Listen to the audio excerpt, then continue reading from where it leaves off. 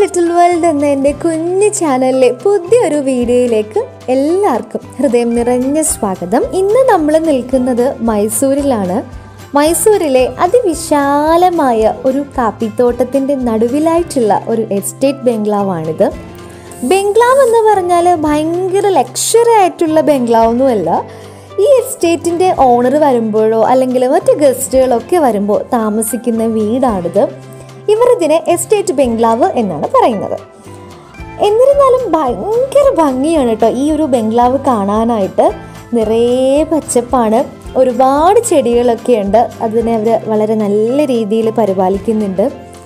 ഈ ഒരു വീടിന്റെ നാല് ചുറ്റും ഏക്കറുകളിലായിട്ട് വ്യാപിച്ചു നിൽക്കുന്ന കാപ്പിത്തോട്ടങ്ങളാണ്.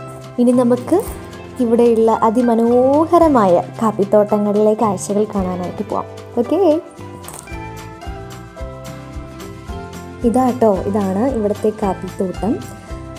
ഈ ഒരു തോട്ടത്തിൽ കാപ്പിക്ക് ഇടവിളയായിട്ട് ഓറഞ്ച് കുരുമുളക് അഗർ അഗർ എന്ന് പറഞ്ഞാൽ അറിയില്ലേ ഊത് ഊത് മരം അതൊക്കെയാണ് ഇവിടെ കൃഷി ചെയ്യാറുള്ളത്. അഗറിനെ കുറിച്ച് ഞാനൊരു ഡീറ്റെയിൽഡ് വീഡിയോ ചെയ്തിട്ടുണ്ട് കാണാത്തവരൊക്കെ ഒന്ന് പോയി കണ്ടേക്കുക കേട്ടോ. ഡിസ്ക്രിപ്ഷൻ ബോക്സിൽ ആഡ് ചെയ്തേക്കാം.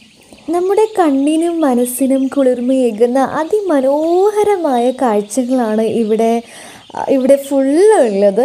നല്ലൊരു അറ്റ്മോസ്ഫിയർ ആണ് കേട്ടോ. കണ്ണിന് മാത്രമല്ല നമ്മുടെ കാതിനും ഇമ്പമുള്ള ശബ്ദങ്ങളാണ് ഇവിടെ കേൾക്കുന്നത്. നിങ്ങൾ കേൾക്കുന്നുണ്ടല്ലോ അല്ലേ? കിളികളുടെയും പക്ഷികളുടെയും ഒരു കളകള ശബ്ദം. ആക്ച്വലി കാണാനും കേൾക്കാനും ഇമ്പമേകുന്ന ഒരുപാട് പക്ഷികൾ ഈ തോട്ടത്തിനുള്ളിലുണ്ട്. അവരുടെ സംഗീതം കൊണ്ട് ഇവിടെ ഒരു കവിത രചിക്കും പോലുള്ള ഒരു ഫീലാണ് എനിക്ക് ചെയ്യുന്നത്. വാക്കുകൾ കൊണ്ട് എനിക്ക് വർണിക്കാൻ സാധിക്കുന്നില്ല. അത്രയ്ക്കും മനോഹരമാണ് ഇവിടെയുള്ള ഈ ഒരു അറ്റ്മോസ്ഫിയർ ഈ പക്ഷികളും കിളികളും മാത്രമല്ല ഇവിടെ ഒരുപാട് കുരങ്ങുകൾ വരാറുണ്ട് ഒരുപാട് കുരങ്ങുകളുണ്ട്. അതുപോലെ തന്നെ കാട്ടുകോഴികളെയും അവിടെ ഇവിടെയായിട്ട് കാണാം. ഈ കാട്ടുകോഴികൾ ഈ തോട്ടത്തിനുള്ളിൽ മുട്ടയൊക്കെ ഇടാറുണ്ടെന്ന് ഇവിടെയുള്ളവർ പറയുന്നുണ്ട്. പക്ഷേ ഞങ്ങൾക്കൊരു മുട്ടയും കാണാൻ സാധിച്ചില്ല.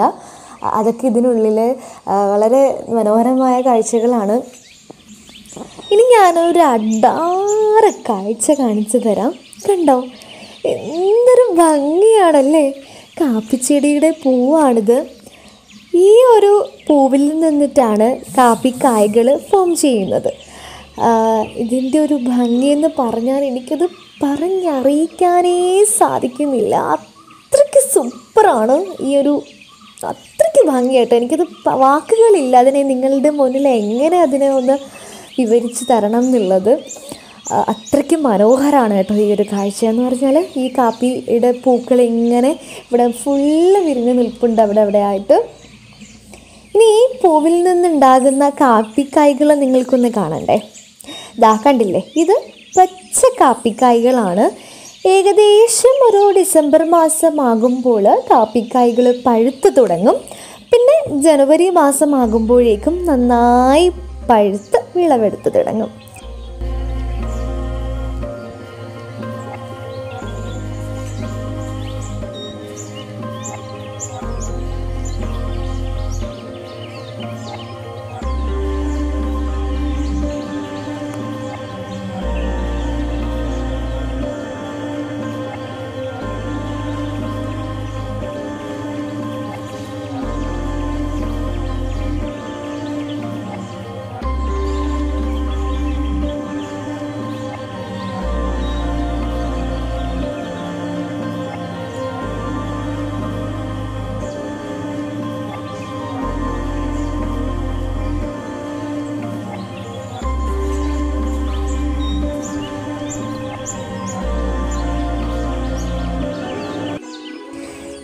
നന്നായിട്ട് പഴുത്ത കാപ്പിക്കായകളാണ് നല്ലൊരു റെഡ് കളറിൽ പഴുത്ത് നിൽക്കുന്നത് കണ്ടില്ലേ?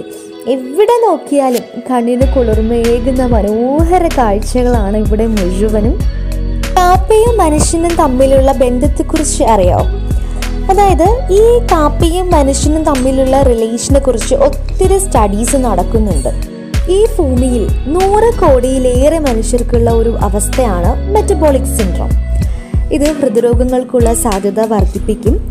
ഇതുമൂലം ഉണ്ടാകുന്ന ആരോഗ്യ പ്രശ്നങ്ങൾ കുറയ്ക്കാനായിട്ട് ഡെയിലി മൂന്ന് കാപ്പി വരെ കുടിക്കുന്നത് നല്ലതാണെന്ന് കേൾക്കുന്നുണ്ട്. മൂന്നോ നാലോ കാപ്പി കുടിക്കും പക്ഷെ കാപ്പി അറിയാൽ ഒത്തിരി കുടിക്കാൻ പാടില്ല.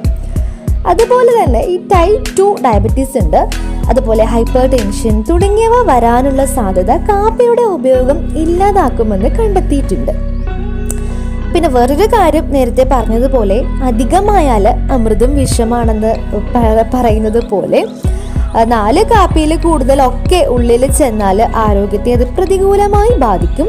അപ്പോൾ കഫീന്റെ അളവ് ഉയർന്ന് തലവേദന ഉറക്കക്കുറവ് അസ്വസ്ഥത വിറയലോ ഹൃദയമിടിപ്പ് ഉയരുക തുടങ്ങിയവ ഉണ്ടാകാനുള്ള സാധ്യതയുണ്ട്. അതുകൊണ്ട് തന്നെ കാപ്പിയുടെ ഒരു അളവ് നമ്മൾ കാപ്പി കുടിയിലുള്ള ആ ശീലിക്കുന്നതിൽ ഒരു പരിധി നിശ്ചയിക്കണം. കുട്ടികളെ ഒരു കാരണവശാലും കാപ്പി കുടി ശീലിപ്പിക്കാനേ പാട് അനുവദിക്കരുത്. അതുപോലെ പ്രഗ്നന്റ് ആയവരും എന്താണ് കാപ്പിയുടെ അളവ് നിയന്ത്രിക്കണം. അപ്പോൾ അതാണ് കാപ്പിയും മനുഷ്യനും തമ്മിലുള്ള റിലേഷൻ ഇനി കാപ്പിയുടെ ഉത്ഭവം എവിടെയാണെന്നറിയോ? എത്യോപ്യയിലാണ് കാപ്പിയുടെ ഉത്ഭവം. പിന്നീട് അറബ് രാജ്യങ്ങളിൽ ഏറെ പ്രചാരമുള്ളതായി മാറി കാപ്പി. മദ്യം നിരോധിച്ചതോടെയാണ് അറബ് രാഷ്ട്രങ്ങളിൽ കാപ്പിക്ക് പ്രചാരമേറിയത്. ആയിരത്തി അറുന്നൂറ്റി എഴുപതിൽ മൈസൂർ രാജവംശത്തിന് കീഴിലുള്ള ചിക്കമംഗലൂരുള്ള കാപ്പി നട്ടുപിടിപ്പിച്ചു.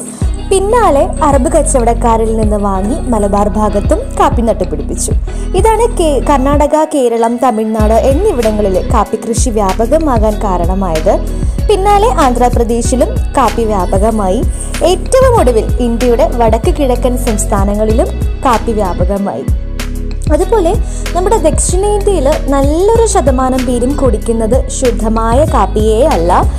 ചിക്കറി ചേർത്ത കാപ്പിയാണ് കൂടുതലും ഇവിടെ പ്രചാരത്തിലുള്ളത്. കാപ്പി വേണ്ടത്ര ലഭ്യമല്ലാതിരുന്ന കാലത്ത് അതായത് ആയിരത്തി എണ്ണൂറ്റി എൺപതിൽ ഫ്രാൻസാണ് കാപ്പിപ്പൊടിയിൽ ചിക്കറി കൂടി ചേർത്ത് തുടങ്ങിയത്. പിന്നാലെ കാപ്പി ചിക്കറി സംയുക്തം വളരെയധികം ലോക ശ്രദ്ധ ആകർഷിച്ചു അല്പം ചിക്കറി ചേർത്താൽ കാപ്പിയുടെ രുചിക്ക് മാറ്റമൊന്നും ഉണ്ടാകില്ല. രുചി അല്പം കൂടിയെങ്കിലേ ഉള്ളൂ. അതുമാത്രമല്ല നിറവും വർദ്ധിക്കും. അതുകൊണ്ട് തന്നെ ആളുകൾ കൂടുതൽ ഈ പാനീയം ഇരു കൈയും നീട്ടി സ്വീകരിച്ചുവെന്ന് ഇംഗ്ലീഷ് സാഹിത്യകാരനായ ചാൾസ് ഡിക്കൻസ് പറഞ്ഞിട്ടുണ്ട്.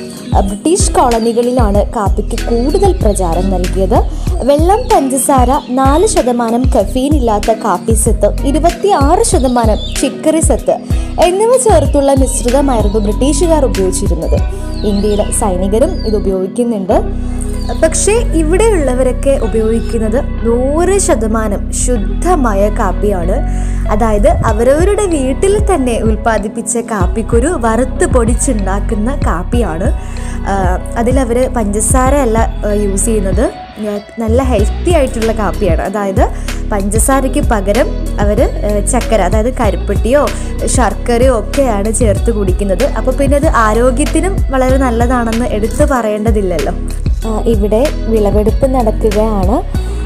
എന്താ ഒരുപാട് സ്ത്രീകൾ ഈ സ്റ്റേറ്റിന്റെ പല ദിശകളിലായിട്ട് നിന്ന് കാപ്പി കാപ്പിക്കായ്കൾ പറിച്ചെടുക്കുകയാണ്. വളരെ എക്സ്പേർട്ടാണ് കേട്ടോ ഇവരൊക്കെ. വളരെ സൂക്ഷ്മമായിട്ടാണ് അവരിതൊക്കെ ചെയ്യുന്നത്. പൂർണമായോ മുക്കാൽ ഭാഗമായോ പഴുത്തെത്തിയ ആരോഗ്യവും വലിപ്പവുമുള്ള കാപ്പിക്കായ്കളാണ് ഇവർ പറിച്ചെടുക്കുന്നത്. തൊണ്ട് നീക്കി പൊള്ളയായതും വൈരൂപ്യമുള്ളതുമായ പരിപ്പുകൾ മാറ്റും. പിന്നീട് ഇത് ഉണക്കി പരിപ്പ് എന്താ കുത്തിയ ശേഷം അത് പൊടിച്ച് ഉപയോഗിക്കുകയാണ് ചെയ്യുന്നത്.